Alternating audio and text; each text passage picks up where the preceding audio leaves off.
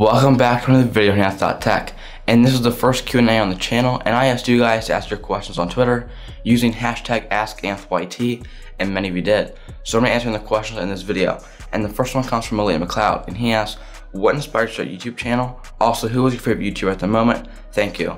And what inspired me to start my YouTube channel would be Edgar from TechSource. He inspired me to build my computer, and then that turned into building the YouTube channel. That way I could edit the videos and stuff like that. Also, to set up that way, it's easier to record and stuff like that. My favorite YouTuber at the moment would be Edgar from TechSource. The next question comes from RJ White, and he asks, Will you be upgrading cameras? I know you have an a6300, but so many released after it like the GH5.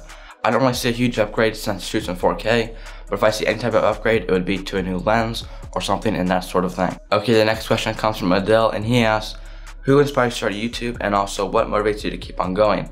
And that would be, like I said before, Edgar from TechSource. So he inspired me to build a computer, then I turned around to build a YouTube channel. Since I sort of want to be like him, and what motivates me to keep on going would be you guys. So that means the views, the likes, the comments, and the subscribers, and stuff like that. It means to keep publishing these videos. Okay, the next question comes from Tony, and he asks, what are your thoughts on the Essential phone? Well, I sort of like it, but the part that I don't like about it is that top part because it has the camera cut out and also the bottom bezel. It looks a little bit weird. But other than that, it looks like a pretty good phone, especially the specs on the inside for the price. Okay, the next question comes from Michael, and he asks, if you had to choose one phone for the next five years, which would you choose? And I'd have to choose the S8 Plus, and that's because it has wireless charging, USB-C, the infinity display, an awesome camera, and a nice big battery, and that's just because it's just an amazing smartphone. So the next five years, I think this will still be pretty good. The next question comes from Pranay, and he asks, how to shoot awesome A-roll like you do? And that's just because I have a light right there, there, and also one up to the side, and the camera in the center. That's all pretty much how everything's set up, and that's it. The next question comes from Rana, and he asks, what is your most favorite piece of tech that you own? And that would have to be my S8 Plus. That's just because it is so feature packed and also future proof for 2017 and the years to come. The next question comes from Brad Snyder, and he asks, where do you see your channel in the next two to three years as far as growth?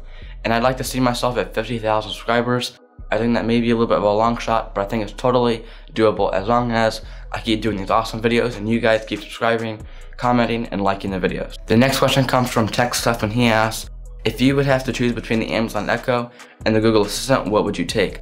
I'd have to choose the Google Assistant. That's just because I'm a Google person, I have Android and stuff like that. I just like the whole ecosystem. And I have a Google Home sitting on my desk over there. I just like the whole Google Assistant and Android ecosystem. And the last question comes from Coop Tech and he asks, what is your favorite brand of robotic llama? And I have no idea what that is, so sorry I cannot answer your question. Okay, that was going to wrap up the first Q&A on the channel. I hope you liked it, and if you did, please drop a like down below and a comment. And as always, stay classy.